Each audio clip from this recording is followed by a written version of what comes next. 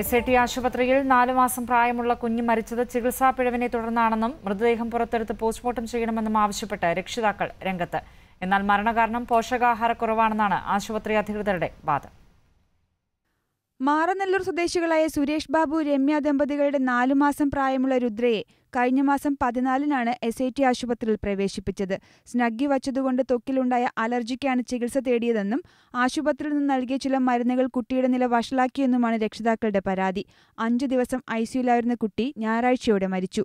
എന്റെ മരിച്ചുപോയ കൊച്ചിനെ ഇനി രണ്ടാം റീമാർക്കം ചെയ്താലും കുഴപ്പമില്ല മേഡം. റീമാർക്കം ചെയ്തെങ്കിലും ഈ ഈ തെറ്റ് ചെയ്തവരെ ജയിലിൽ കയറ്റിയേ പറ്റും. இவருக்கு இந்த தக்க சிஷம் கிட்டணும். കാര്യം ഇന്ന് എനിക്ക് പറ്റി. നാളെ മറ്റൊരു തന്നെ പോലെ വേറെ കാര്യം ഈ ടെസ്റ്റിന് വേണ്ടിയൊക്കെ ഞാൻ ഓടിയ ഓട്ടം പൈസയ്ക്ക് വേണ്ടി ഓരോരുത്തർ ഓർണ ഓട്ടം. എന്നാൽ പോഷകാഹാരക്കുറവ് ഉണ്ടായതോടെ വന്ന ഗുരുതര ആരോഗ്യ പ്രശ്നമാണ് രുദ്രയ്ക്കുണ്ടായിരുന്നതെന്നാണ് ആശുപത്രി അധികൃതരുടെ വിശദീകരണം. ത്വക്ക് രോഗമെന്ന് സംശയിച്ചെങ്കിലും തുടർന്നുള്ള പരിശോധനകളിൽ പോഷകാഹാരക്കുറവ് മൂലമുള്ള ആരോഗ്യ പ്രശ്നങ്ങൾ കണ്ടെത്തി ചികിത്സ നൽകുകയായിരുന്നുവെന്നും ആശുപത്രി സൂപ്രണ്ട് അറിയിച്ചു. പോസ്റ്റ്മോർട്ടം ചെയ്യാതെയാണ് മൃതദേഹം മറവ് ചെയ്തത്. സത്യാവസ്ഥ കണ്ടെത്താൻ പോസ്റ്റ്മോർട്ടം ചെയ്യണമെന്ന ആവശ്യവും രക്ഷിതാക്കൾക്കുണ്ട്. ഇതിനായി നിയമ പോരാട്ടത്തിനൊരുങ്ങുകയാണ് ഈ ദമ്പതികൾ. ഏഷ്യനെറ്റ് ന്യൂസ് തിരുവനന്തപുരം.